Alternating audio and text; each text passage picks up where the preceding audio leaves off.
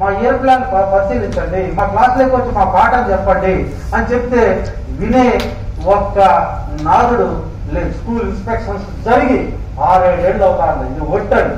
ఈ విధానంగా మానిటరింగ్ కూడా బలపరచాలని కూడా నేను విద్యార్థులు తల్లిదండ్రుల వైపు నుంచి విద్యారంగ అభివృద్ధి కోసం నాణ్యత కోసం తీసుకోవాల్సిన ప్రత్యేకమైన స్ట్రెస్ కూడా చేయండి. అందువల్ల విద్యాశాఖ అధికారులు అడ్మినిస్ట్రేటివ్ సైడ్ ఒకరుంటే అకాడమిక్ సైడ్ మరొక విద్యాశాఖ అధికారి అదేవిధంగా క్రింద స్థాయి నుంచి డివైఓలు అడ్మినిస్ట్రేటివ్ సైడ్ ఒకరు అకాడమిక్ సైపు మరొకరు అదేవిధంగా మండల ఎడ్యుకేషన్ కష్టమైతే కానీ క్లస్టర్ వైజ్ కూడా ఈ యొక్క మానిటరింగ్ జరగాలి.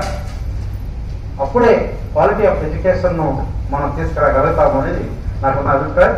ఈ అభిప్రాయాన్ని కూడా రికమెండ్ చేయాలని చెప్పి నేను కోరుతున్నాను. విద్యారంగం మీద మాట్లాడాను కాన్సన్ట్రేట్ చేస్తున్నాను ఎందుకంటే ఎక్కువగా కూడా నేను ఒక రైతు కుటుంబం నుంచి వచ్చిన వాడిని. నిరుద్యోగ వ్యవస్థల గురించి నిరుద్యోగ పోరుబాటు చేసిన వారికి థ్యాంక్స్ చెప్తూ అలాగనే మేడం గారు అడిగినట్టుగా మేము ఆల్రెడీ ప్రభుత్వానికి సబ్మిట్ చేసిన డాక్యుమెంటే ఉంది. కొన్ని ఎన్ఈపీ టూలు వన్ సెవెంటీ టూ వెల్కమ్ చేసినవి ఉన్నాయి. కొన్ని ప్రోత్సహించినవి ఉన్నాయి. కొన్ని రెక్టిఫికేషన్స్ ఇవ్వండి.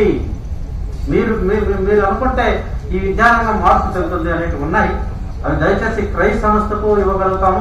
అదేవిధంగా ప్రగతి ఎన్జిఓ వాలంటీర్ ఆర్గనైజేషన్ ఇది ఈ సందర్భంగా ప్రగతి నేను నడుపుతున్న మా రమణ గారి సంస్థ నిజంగా కూడా వాలంటీర్ ఆర్గనైజేషన్ ఏం చేయాలో అది హండ్రెడ్ పర్సెంట్ చేస్తా ఉంది. ఆ విధంగా వాళ్ళు ముందుకు వెళ్తున్నారు అని చెప్పి నేను వారికి ధన్యవాదాలు కూడా తెలుపుతున్నాను. ఈ వీడియో కానీ మీకు నచ్చినట్టయితే లైక్ చేయండి. అలాగే సబ్స్క్రైబ్ చేయండి. పక్కనే ఉన్న బెల్ బటన్ని నొక్కడం మర్చిపోకండి.